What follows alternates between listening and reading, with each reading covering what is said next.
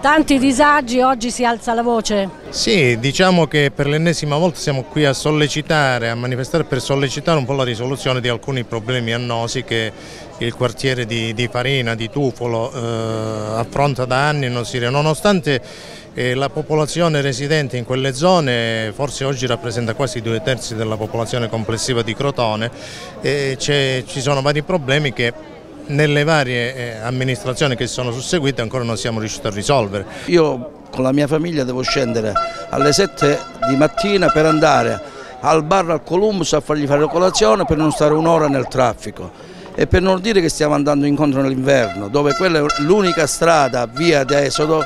per poter scappare se vi è un'alluvione. A Farina abbiamo una situazione poco, poco credevole, poco, veramente molto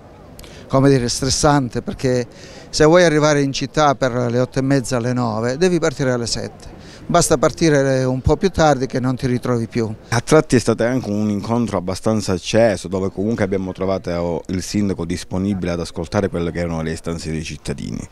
Sui cinque punti che abbiamo sottoposto eh, ci sono stati presi degli impegni eh, a rispettare eh, fin da subito, intanto di contattare eh, l'ASP per l'apertura del parcheggio di via Paolo VI, anche per capire i motivi perché non, non, non, si, è, non si è dato seguito a questa apertura dopo che è stato finito. Per quanto riguarda eh, invece il discorso della polizia locale su via Nazioni Unite e di Acrea di raccogliere i rifiuti dal, do, o dopo le otto e mezzo o prima delle sette, queste sono cose di buon senso che servono proprio per il quieto vivere del quartiere, un quartiere di 20.000 abitanti. Da un anno abbiamo già previsto un'arteria piccolina purtroppo che va dall'Annimic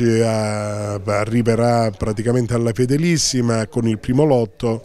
e un successivo lotto poi la porterà in via San Marino e via Inghilterra. Non risolverà il problema perché riguarderà un terzo della Tufolo Farina, il terzo più vicino alla città, ma abbiamo preso in considerazione anche la strada Tufolo Mare Tufolo Mare sto facendo fare da un professionista una variante perché la Tufolo Mare così com'è passerebbe da via Russia e quindi è veramente una situazione pericolosissima. Così com'è la Tufolo Mare non va bene.